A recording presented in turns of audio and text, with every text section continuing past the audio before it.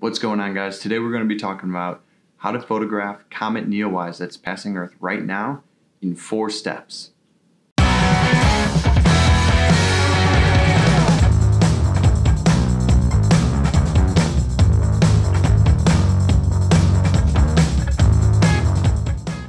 Welcome back. So if you're not aware, there's a comet passing Earth right now throughout the month of July that's visible in the northern hemisphere as well as partially in the southern hemisphere. So I'm gonna break it down by the apps that you use, the camera gear that you're gonna need, how to find its location, and then the camera settings that you're most likely going to be playing around with.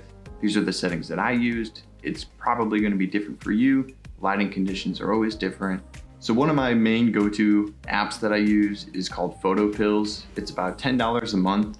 Uh, it tells you the sunrise, sunset, all of the golden hour times. It also has moonrise and set times on there, uh, the phase of the moon, and then the light visibility that the moon is giving off. The app also has in it a augmented reality system that you can turn on and it'll show you where the Milky Way is, uh, when the center is going to be perfectly visible and when the, the Milky Way is going to be vertical as well.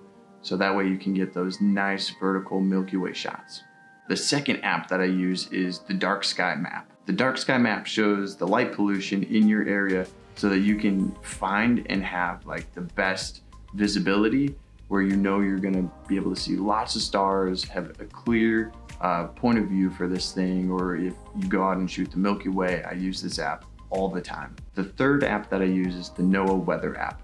I find that this app is the most accurate when giving weather predictions, giving you a seven day forecast, hourly temperature, wind speed, and precipitation percentages, and has a live radar in case there's any storms coming by or where you can go to bypass them in conjunction with the dark sky map. And then the fourth thing that I use really isn't an app, it's a website, and it's called cleardarksky.com. So you go to the website and you're gonna find your state. Next to it, it says list and map. I click on list. List is gonna bring you to another page and then you can find your city or any of the cities with the darkest blue square.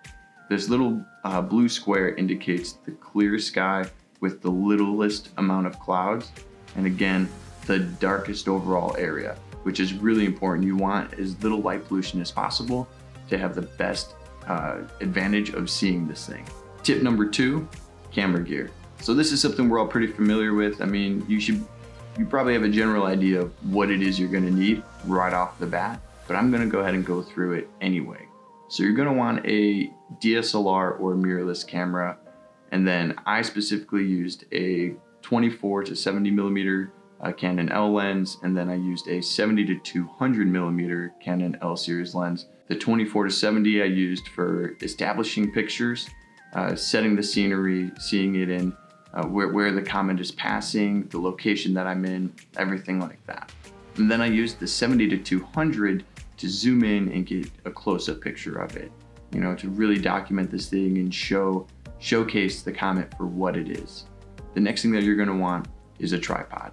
When you're shooting long exposures, which I'm gonna go over in the last tip, you're gonna need a tripod. Unless you already have a really good camera that can shoot one to five seconds with in-body stabilization, you know, then you can risk it.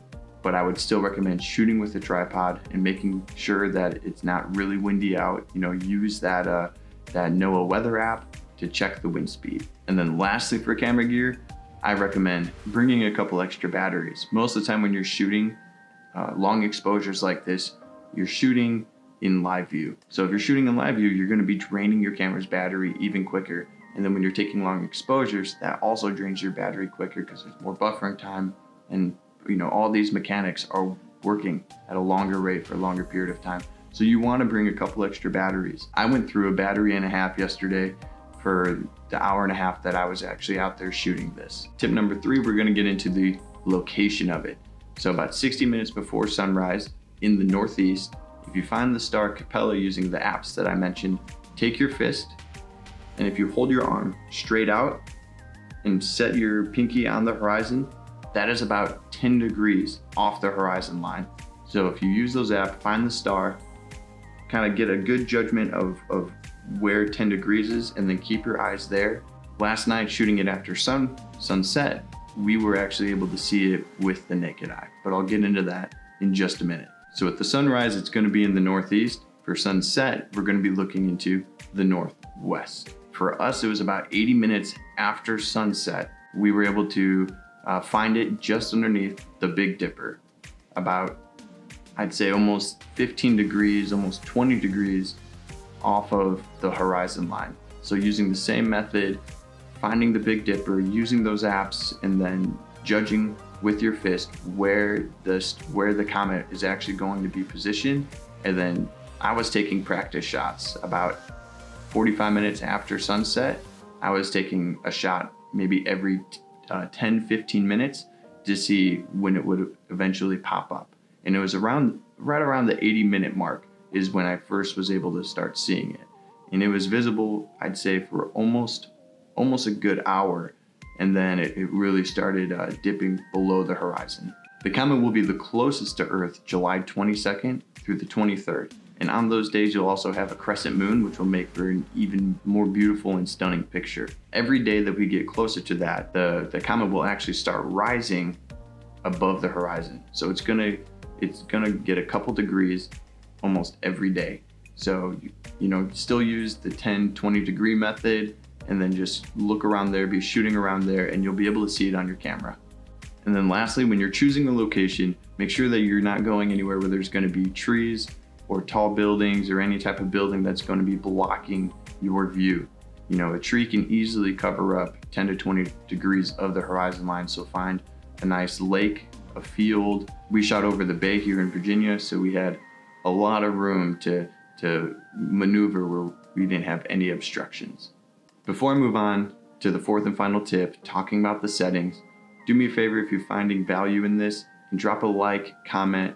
As a smaller channel, those likes, comments, shares, those subscribes, they do make a big difference in getting this video out there and it costs you guys nothing and only takes a few seconds and it means a lot to me. So thank you. So the fourth and final tip, we're gonna get into the settings. The settings that I personally used for the photo shown in this video. So if you're shooting on a crop sensor camera, the best way to find your shutter speed to get the least amount of star trails is you're gonna wanna take 500 divided by the focal length that you're shooting and then multiply that by 1.6. And that should be around the shutter speed that you should be shooting at. Now you can play with that and see if you can dial it in even more but that's gonna be the starting point for you. For full frame, it's just gonna be 500 divided by the focal length that, that you're shooting at, and that's gonna be your shutter speed. I was shooting with my aperture or f-stop at 2.8 so that I could get the most amount of light in, you know, with my shutter drop down between one, five, and seven seconds. And then I was shooting with my ISO, starting out at ISO 100, moving my way up to ISO 800, as the sun continued to drop further below the horizon. Thank you guys so much for watching. Like, comment, share, subscribe, hit the little bell notification so that you guys get notified when I post these videos. You can check out my podcast, Close Up Podcast, uh, if you don't feel like watching some of my other videos and you'd rather listen to them. I put them into a podcast format as well. And then you can find me on Instagram at Livli Productions. And you can also visit my website, livliproductions.com. And then I'm also on TikTok where I do short form uh, photography tutorials and photography styled videos. And that is just Nick Boris. You can find me there. And lastly, if you're in the Virginia area and you want to book a shoot or collaborate or do anything like that, shoot me a DM on Instagram and let's chat. Thank you guys so much for watching. I'll talk to you guys next week.